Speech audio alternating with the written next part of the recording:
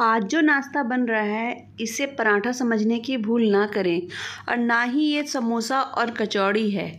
बिल्कुल नए तरह का अलग सा हेल्दी सा नाश्ता है, जिसे खा करके सभी आपसे पूछेंगे कि आपने इसे कैसे बनाया। तो रेसिपी को पूरा देखिएगा और बिल्कुल भी स्किप मत करिएगा। तो हेलो फ्रेंड्स मैं हूँ Preeti and yummy food and recipes में आपका स्वागत है। तो चलिए शुरू करें बनाना।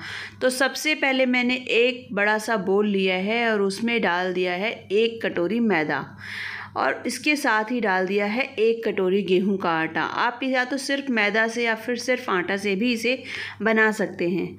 लेकिन दोनों को मिलाकर डालने से इसमें टेस्ट अच्छा आता है। तो मैंने इसमें डाल दिया साथ में नमक स्वाद के अनुसार। और साथ में डाल दिए आधी चम्मच अजवाइन। अजवाइन को मैंने थोड़ा सा हाथ में पहले क्रश कर लिया था और फिर इसे डाला है। और इसके साथ ही इसमें हम डाल रहे हैं आधी चम्मच ही चिली फ्लेक्स। चिली फ्लेक्स डालना ऑप्शनल है। अगर आप बच्चों के लिए बना रहे हैं या फिर बच्चे मिर्च नहीं खाना चाहते हैं तो आप ये स्किप कर सकते हैं। सिर्फ़ नमक और अजवाइन दे करके फिर इसे ऐसे मिक्स कर लीजिए। तो ये देखिए सभी चीज़ें अच्छे से मिक्स हो गई है और इसे कुरकुरा बनाने के लिए मैं इसमें डाल रही हूँ एक बड़ा चम्मच मोयन का। मोयन मैंने देसी घी का डाला है, आप रिफ़ाइन का भी डाल सकते हैं। और अब इस मोयन को पहले आटे में हम अच्छे से इस तरह से मिलाते हुए मिक्स करेंगे, ताकि मोयन पूरे आटे में अच्छे से मिक्स हो जाए। जब मोयन को हम अच्छे से मिला लेंगे ना तो फिर थोड़ा थोड़ा करके पानी डालेंगे और इसका एक सॉफ्ट डो लगाएँगे। डो बिल्कुल भी हार्ड ना लगाएँ और ना ही बिल्कुल सॉफ्ट लगाएँ। एकदम सेमी सॉफ्ट डो हम लगाएँगे, जिससे कि जैसे रोटियों के लिए लगाते हैं, उससे हल्का सा कड़ा आटा हम इसके लिए लगाएँगे। तो थोड़ा थोड़ा करके पानी डालते जाएँ और इसका डो अच्छे से फॉर्म कर लें। तो इस डो को बनाने के बाद जब हम इस तरह से पूरा अच्छे से मिक्स कर लेंगे ना तो इसे एक लोच देंगे थोड़ा सा पहले एक से दो मिनट तक इस तरह से इसे गूँथ लेंगे। तो गूँथने से क्या होगा कि आटे में एक लोच पैदा होगा, आटा सॉफ्ट हो जाएगा। और बस इस तरह से करने के बाद अब हम इसे दस मिनट के लिए रेस्ट करने के लिए रख देते हैं। तो ये हो गया हमारा आटा रेडी और अब इसकी स्टफिंग तैयार कर लेते हैं। तो स्टफिंग तैयार करने के लिए मैंने गैस पर चढ़ा दी है कढ़ाई और उसमें डाल दिए हैं दो छोटे चम्मच तेल। जब तेल बहुत अच्छे से गर्म हो जाएगा, जब तेल को सबसे पहले गर्म होने दें और फिर उसमें डालेंगे थोड़ा सा जीरा, लगभग वन फोर टी स्पून जीरा और वन फोर टी स्पून ही मस्टर्ड सीड्स और इसके साथ ही एक चुटकी हींग डाल देंगे। जब सभी चीज़ें अच्छे से क्रैकल कर जाए, फुट जाए तो फिर इसमें डाल दिया मैंने एक चम हरी मिर्च को बारीक काट करके। हरी मिर्च डालना ऑप्शनल है, आप इसे स्किप भी कर सकते हैं, क्योंकि अगर तीखा ज़्यादा पसंद है तो आप दो डाल दीजिए और तीखा अगर नहीं खाना चाहते तो आप हरी मिर्च छोड़ दीजिए। तो हरी मिर्च को बस हल्का सा चला देंगे जिससे कि ये थोड़ी सी सिक जाए। और इसके बाद अब सूखे मसाले डालेंगे। फ्लेम को बिल्कुल लो रखें। लो फ्लेम पर वन फोर टी हल्दी पाउडर डाला है और वन फोर टी स्पून ही धनिया पाउडर डाल रही हूँ। इसके साथ वन फोर टी स्पून लाल मिर्च का पाउडर डाला है और अब मैं डाल रही हूँ इसमें गरम मसाला। तो आधी चम्मच मैंने इसमें गरम मसाला डाला है। गरम मसाला डालने के बाद इसमें one four tea black pepper powder डाल दीजिए और इसके साथ साथ और ही वन फोर टी स्पून जीरा पाउडर, भुना हुआ जीरा पाउडर हम डाल देंगे। इन सभी चीज़ों को डालने के बाद अब मैंने आधी चम्मच ही कसूरी मेथी भी बारीक क्रश करके डाल दी है और दो उबले हुए आलू को पहले अच्छे से मैश कर लिया था और वो आलू डाल दिए। और अब इन सभी चीज़ों को हम बहुत अच्छे से मिक्स करेंगे ताकि सारे मसाले आलू में अच्छे से मिक्स हो जाए और एक चटपटा सा मसाला रेडी हो। इसके साथ ही नमक स्वाद के अनुसार डाल दिया है, जितने आलू की क्वांटिटी है उसके हिसाब से नमक डाल दिया है। और अब इन सभी चीज़ों को हम अच्छे से दो मिनट तक हम अच्छे से भूनेंगे ताकि आलू भी थोड़े से भून जाए और मसाला खूब अच्छे से मिक्स हो जाए। तो आप देख सकते हैं मसाले का कलर बिल्कुल चेंज हो चुका है और अब ये मसाला लगभग ऑलमोस्ट रेडी है। थोड़ा सा अब इसे और हम भून लेते हैं और इसके साथ ही इसमें हम डाल देंगे धनिया पत्ती।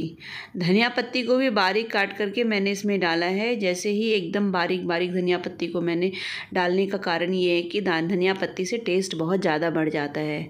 तो आप धनिया पत्ती अपनी इच्छा के अनुसार डालें। कम ज़्यादा डालना आपकी चॉइस पर डिपेंड करता है। तो बस इस तरह से देखिए धनिया पत्ती को भी मैंने मिक्स कर दिया है और अब हमारा मसाला बिल्कुल रेडी है। तो इसे अब हम निकाल लेते हैं प्लेट में और इसे हम ठंडा होने के लिए एक साइड में रख देंगे। तो ये देखिए हमारा मसाला कितना चटपटा, देखने में ही कितना चटपटा लग रहा है। तो इसमें मसाले भी आपने देखा, मैंने बहुत कम डाले हैं, कुछ ज़्यादा नहीं, लेकिन ये मसाला खाने में बहुत ही टेस्टी बना है। तो इसे अब एक साइड रख दिया है मैंने और डो को अब हम ले आते हैं। तो ये देखिए हमारा डो बिल्कुल रेडी है। तो अब इसे हम निकाल करके इस चॉपिंग बोर्ड पर या फिर इस एक चकले पर आप इसे निकाल लीजिए और इसे अच्छे से हाथों से इसे मैश कर लीजिए ताकि जो भी इसमें अगर ऊपर में जो एक परत जैसी हल्की सी आ जाती है वो एकदम अच्छे से मिक्स हो जाए और आटा बिल्कुल चिकना हो जाए। और अब देखिए, मैंने इसका एक लंबा सा रोल जैसा बना लिया है और अब इसके हम बराबर हिस्से कट कर लेंगे। लगभग छः हिस्से लगभग कट होंगे।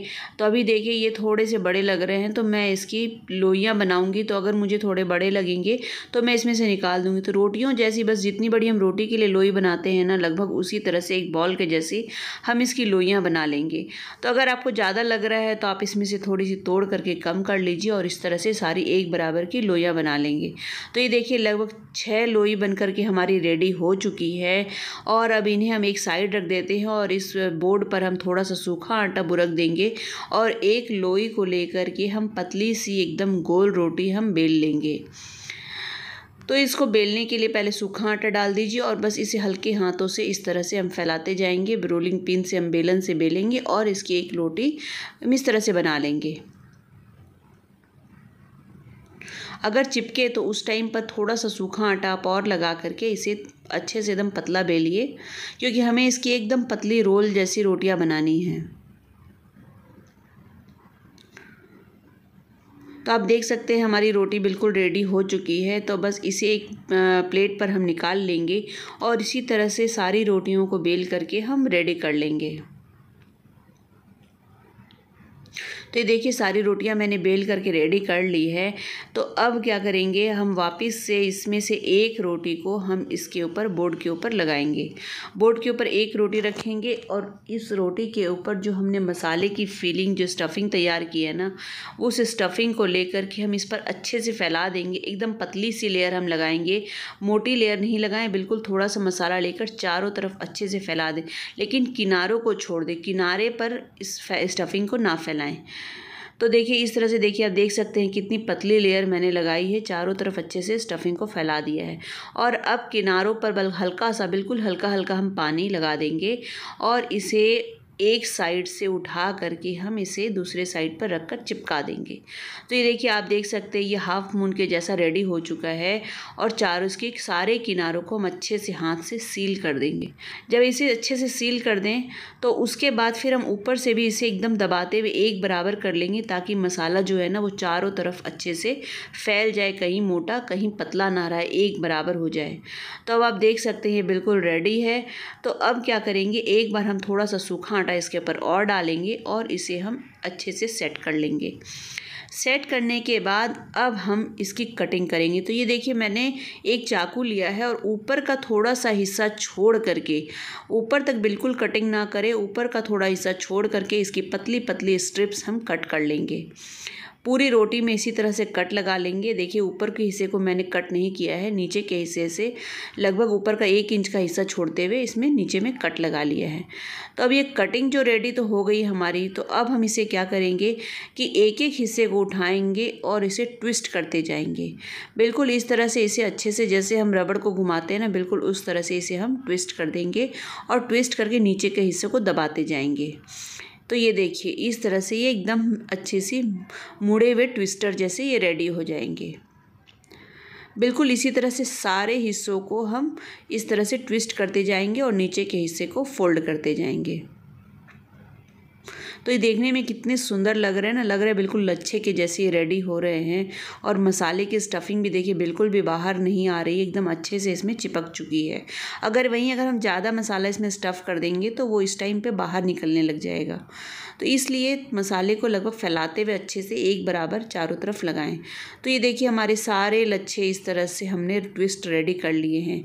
और अब हम क्या करेंगे? नीचे के साइड में हल्का सा पानी मैंने लगा दिया है और ऊपर के साइड को उठाते हुए हम इस तरह से रोल करेंगे। देखिए इस तरह से दबाते हुए रोल करें और फिर पूरे लच्छे को हम धीरे धीरे हल्के हल्के हाथों से रोल कर लेंगे और दोनों किनारों को अच्छे से मिला करके चिपका देंगे। तो ये देखिए कितना अच्छी हमारे ये ट्विस्टर रोल रेडी हुए हैं। एकदम ट्विस्टर, एकदम फ्लावर के जैसा लग रहा है। इस तरह से हमारे ये रिंग रेडी हो चुके हैं। और अगर उसमें कहीं कटिंग लगे तो उसको भी अच्छे से मिलाते हुए जॉइंट को कर दें। तो इसी तरह से देखिए दूसरे रोल्स भी जो हमने बनाने हैं, सारे हम इसी तरह से रेडी करेंगे। पहले अच्छे से मसाला लगा देंगे चारों तरफ़ और किनारों में पानी लगाते हुए इसे हम रोल करेंगे।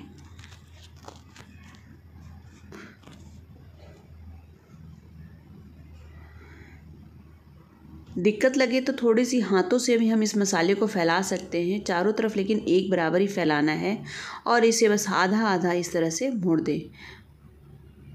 मोड़ते समय ध्यान रखें कि ये जो रोटी है ना, बिल्कुल एक बराबर है, चारों तरफ़ मसाले को अच्छे से फैलाते हुए इस तरह से हम दबा देंगे और फिर इसमें कट्स लगाएँगे।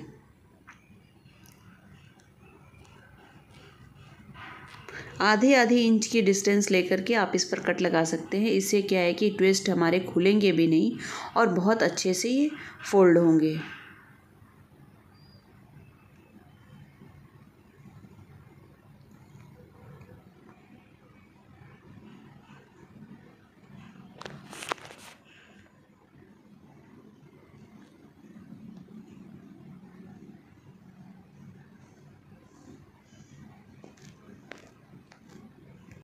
हमारे ये ट्विस्टर रेडी हो चुके हैं। अब इसे भी हम इस तरह से ही फ़ोल्ड कर लेंगे। पहले ऊपर के हिस्से को दबाते हुए फ़ोल्ड कर ले और फिर इसके रोल को इस तरह से फ़ोल्ड करते हुए दोनों किनारों को मिलाते हुए हम इसके, इसको अच्छे से पहले रोल करेंगे। देखिए, हमारे सारे फ्लावर्स रेडी हो चुके हैं और अब हम इसे डीप फ्राई करेंगे। आप इसे बेक भी कर सकते हैं या फिर सेलो फ्राई भी कर सकते हैं। तो देखिए, मैंने कढ़ाई में तेल चढ़ा दिया है और तेल बिल्कुल गर्म है। मीडियम फ्लेम मैंने गैस की कर दी है। और अब एक रोल को मैं इसमें डाल रही हूँ। जब डालने के बाद बिल्कुल भी इसे उल्टाने की हड़बड़ी ना करें, बिल्कुल इसे अच्छे से सीखने दें। नहीं तो क्या होगा कि जब हम इसे उल्टाएँगे तो ये बिल्कुल टूट जाएँगे, तुरंत ही टूट जाएँगे। तो जब इस तरह एक बार डाल करके इसे दो मिनट के लिए ऐसे ही छोड़ दें। बिल्कुल इसे हिलाए डुलाए कुछ भी नहीं। और ये देखिए, जब इसमें हल्का सा कलर चेंज होने लगे ना तो ऊपर से इसमें थोड़ा थोड़ा तेल इस तरह से डालते जाइए, ताकि ऊपर भी ये हल्के से सिक जाए। तो जब हम इसे टर्न करें तो ये इसमें टूटने का बिल्कुल भी डर ना रहे। तो इस तरह से थोड़ा थोड़ा करके तेल इसके ऊपर गर्म तेल जब डलेगा तो ऊपर में भी ये हल्के हल्के सीखते जाएँगे। तो इस तरह से देखिए इसे एकदम अच्छे से सीखने दीजिए और जब इस तरह से इसमें एक अच्छी सी लेयर आ जाए तो फिर हम इसे किसी भी झंझरे की हेल्प से इसे टर्न कर देंगे तो इससे क्या होगा? देखिए, एक तरफ़ कितने अच्छे सीख चुके हैं और दूसरी तरफ़ से भी हम इतना ही इस तरह से एकदम गोल्डन ब्राउन होने तक इसे सेक लेंगे। इस तरह से सेकने से बहुत क्रिस्पी हो जाते हैं और खाने में बहुत ही टेस्टी लगते हैं। तो ये लगभग सीख करके अभी एक साइड से सीख चुके हैं और दूसरी साइड से भी सीख रहे हैं। तो जब ये दोनों साइड से अच्छे से सीख जाएँगे तो हम इसे उतार करके इसे बाहर निकाल तो अब एक स्ट्रेनर की हेल्प से हम इसे बाहर निकाल लेते हैं। आप देख सकते हैं कितने क्रिस्पी बने हैं और इसको निकालने के बाद दम फिर हम दूसरा भी इसी तरह से तल करके रेडी करेंगे। तो जो, एक बार डालने के बाद हड़बड़ी ना करें, आराम से इसे सीखने दें। इसे सीखने में लगभग सात से आठ मिनट लगते हैं, सात से आठ मिनट में रेडी हो जाता है। तो ये देखिए, दो रिंग मैंने रेडी कर लिए हैं। तो अब मैं आपको तोड़ करके भी दिखाऊँगी कि कितने क्रिस्पी बने हैं। तो ये देखिए, कितनी आसानी से टूट जा रहे हैं और देखिए एक एक रिंग बिल्कुल अलग हो रही है। आप जिस तरह से तोड़ेंगे ना जहाँ से वहीं से आपको ये रिंग एकदम अलग होती हुई दिखेगी। बहुत ही टेस्टी बन लगते हैं खाने में और बहुत ही क्रिस्पी है। तो बिल्कुल नए तरह का नाश्ता है। जब आप इसे बनाकर बच्चों को देंगे तो टिफ़िन में भी आप तो बच्चे बहुत शौक से खाएँगे। और अगर आप किसी गेस्ट के आने पर बनाते तो वो आपसे ज़रूर पूछेंगे कि आपने इसे कैसे बनाया। तो एक बार इस रेसिपी को ज़रूर ट्राई करिए और रेसिपी अच्छी लगे तो लाइक एंड शेयर ज़रूर करें। साथ में कमेंट करके बताइए कि रेसिपी आपको कैसी लगी। और अगर मेरे चैनल पर अगर आप नए हैं तो इसे सब्सक्राइब करना बिल्कुल ना भूलें। साथ में बेलाइकन ज़रूर दबाएँ ताकि नई नोटिफिकेशन आपको तुरंत ही मिल जाए और वीडियो को पूरा पूरा देखने के लिए आपको बहुत बहुत थैंक यू